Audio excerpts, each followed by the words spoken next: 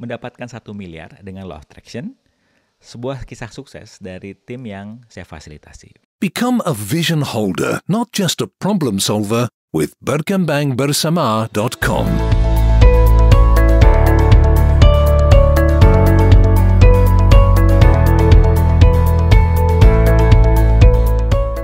Assalamualaikum warahmatullahi wabarakatuh. Salam sejahtera buat kita semua. Perkenalkan nama saya Rahmat Barus MBA Saya seorang fasilitator Law Attraction Master praktisi Neurolinguistic Programming Penulis buku 4 Langkah Mudah Hidup Semakin Berlimpah Serta podcaster Di Berkembang Bersama yang pernah menduduki peringkat keempat di Apple Podcast.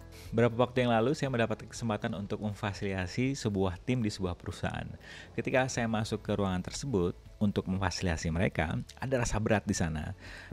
Prediksi saya, uh, mereka desperate untuk melihat cara pandang berbeda karena cara pandang yang sedang mereka gunakan itu uh, membuat mereka kurang semangat untuk mengejar target dan lebih tepatnya kurang semangat untuk menggali potensi apalagi sih yang sudah uh, ada di dalam diri mereka namun belum mereka perhatikan.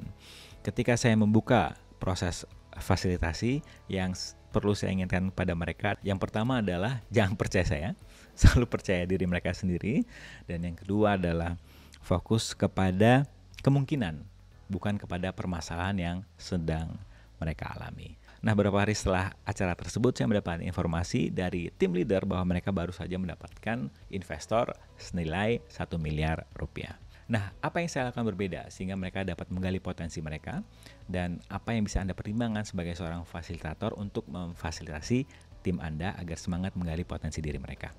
Sebelumnya ya kan Anda sekali saat Anda bergabung di emailis berkembangbersama.com Caranya sangat mudah. Anda tinggal masukkan email Anda di berkembangbersama.com Anda akan mendapatkan panduan strategi yang bisa Anda pertimbangkan untuk lebih produktif di tahun 2021 dengan lebih santai agar Anda semakin bahagia. Nah apa sih yang saya lakukan berbeda sehingga mereka bisa mendapatkan investor senilai 1 miliar rupiah? Yang pertama adalah saya minta mereka untuk menggali potensi dalam diri tidak membandingkan dengan yang ada di luar. Karena sekali lagi dalam satu tim pun mereka punya uh, potensi unik masing-masing daripada mereka saling bersaing satu sama lain bagaimana kalau mereka berkontribusi satu sama lain karena seperti yang kita sudah dapat bersama tidak ada yang kebetulan bisa jadi tim tersebut dipertemukan sehingga mereka bisa saling berkontribusi dan bekerja sama. Dan yang ketiga adalah saya meminta mereka untuk membebaskan diri mereka dari ekspektasi. Karena seperti yang kita sudah pahami bersama, ekspektasi adalah pembunuh kreativitas. Ketika orang punya ekspektasi, saya hanya akan bahagia ketika saya akan mendapatkan A, mereka lupa bahwa ada B dan Z yang mungkin bentuknya beda, tapi juga sama-sama membuat bahagia dan mungkin lebih mudah dibandingkan fokus hanya kepada A. Dan uniknya hanya menggunakan tiga cara di atas. Jangan percaya saya, selalu percaya diri Anda sendiri. Yang kedua, eh, selalu mencari ke dalam, tidak membandingkan diri mereka dengan orang lain dan yang ketiga bebaskan diri mereka dari ekspektasi. Mereka semakin tertarik untuk menggali potensi ke dalam diri.